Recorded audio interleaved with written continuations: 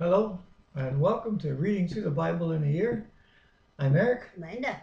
and we're reading in today, day 241, and we're reading Psalms chapter 126, 27, and 128.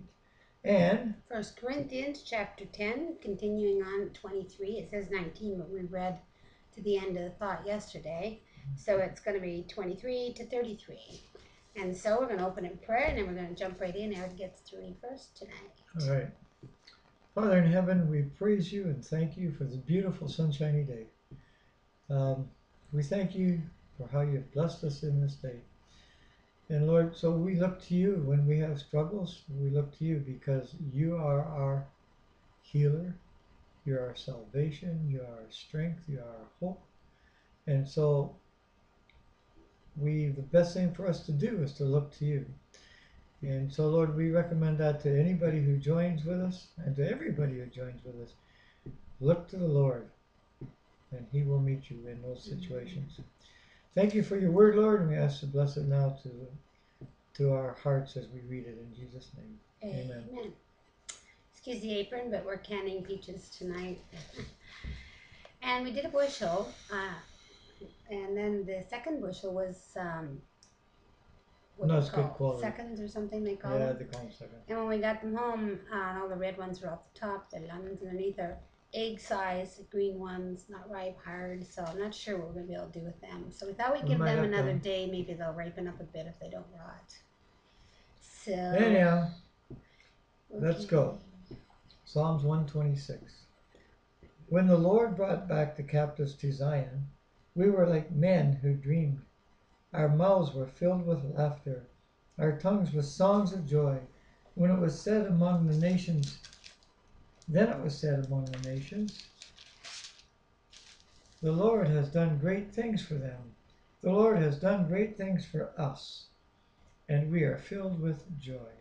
Restore your fort, uh, fortunes, O Lord, like streams in the Ne- Negev. Those who sow in tears will reap with songs of joy. He who goes out weeping, carrying seed to sow, will return with songs of joy, carrying sheaves with him. Psalms 127, a song of ascent of Solomon. Unless the Lord builds the house, the builder labors in vain. Unless the Lord watches over the city, the watchman stands guard in vain.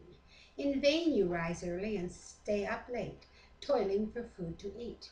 For he grants sleep to those he loves. That sounds like he's describing you. and me this summer, toiling for food to eat. Well, In vain when you rise up early. when it comes time to go to bed, I hit the hay. That's it. That's Staying up late, toiling for food to eat. That's me tonight, Canning.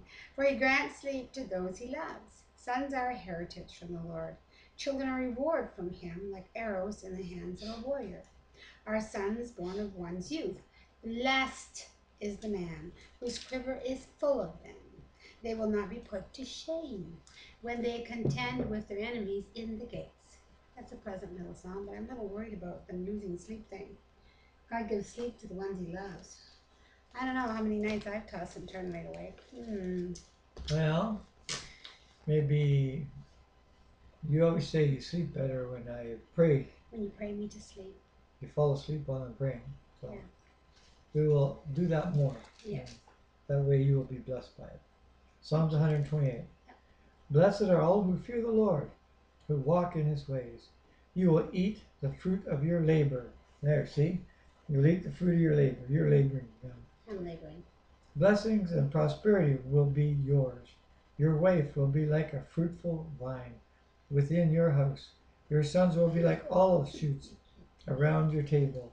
Thus is the man blessed who fears the Lord. May the Lord bless you from Zion all the days of your life.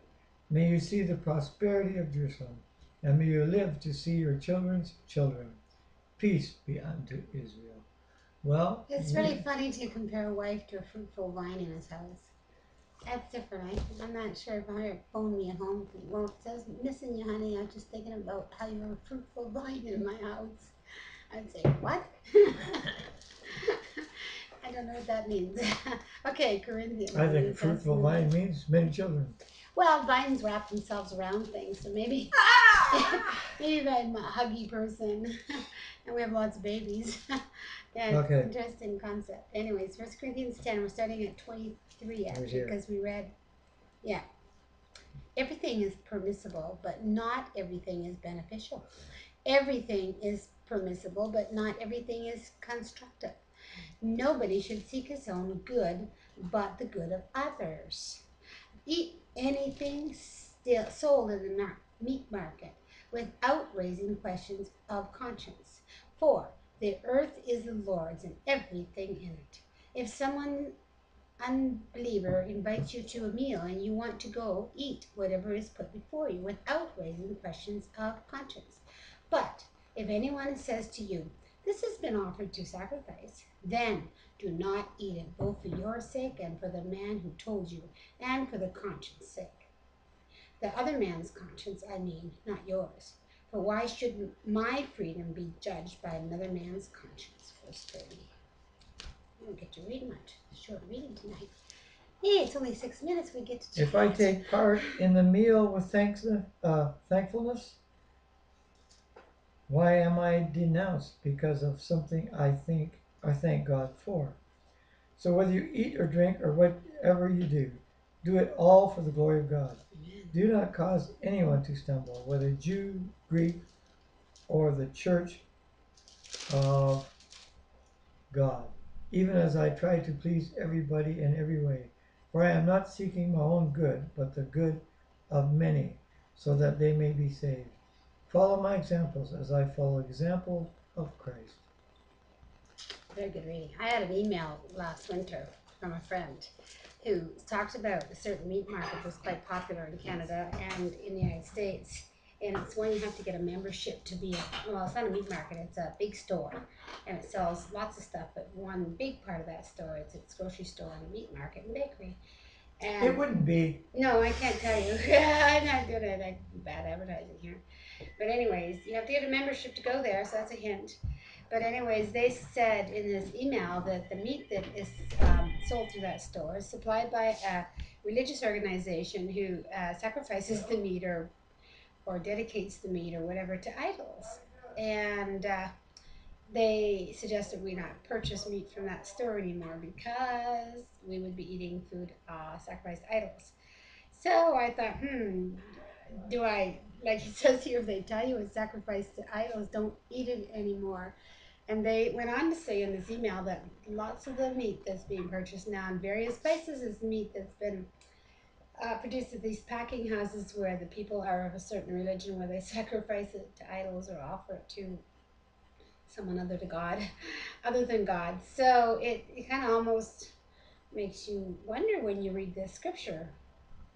You know, um, so I kind of like deleted the thing. Um, I mean, you go to a restaurant, you don't know what they did to the meat. They could have dropped it on the floor. For you know, you don't know. You just have to eat in faith. That's why we pray before we eat. You know, bless the food. May you bring health to our body, not hinder us and our health and our well-being. So thanks for joining us. It's a very short reading today, and Eric's gone, so we can't blog, do an uh, uh, talk blog with you, and uh, it would have been nice. Interesting scriptures we read, worth talking about, but oh well. Various religious groups. Um, I have friends that belong to a religious group that they uh, soak their meat for days and make sure there's no blood. It's almost white before they cook it. And make sure there's no blood in it because of the scriptures that says don't eat blood. And um, I, it made me conscious of the fact that even meat um, that's been butchered and hung, if you leave it on the counter long enough, blood comes out of it. So I started making sure my meat was thawed and washed at least before I cook it, because not that I, um, I'm trying to eat blood, you know, I'm just trying to barbecue my meat. So it's really interesting. You get into quite a debate and discussion around eating food, and we're not going to do that tonight because my my comical partner is on the phone. He likes to make jokes about what I I fret about. So be blessed. Give thanks to the Lord for every good thing in your life, and He will continue to bless you. and uh, find someone else to bless. Do a good deed for someone today. And thanks for joining us. And may the Holy Spirit of God give you wisdom and understanding and bring healing to your situation, whether it be financial, physical, uh, family problems, whatever it be.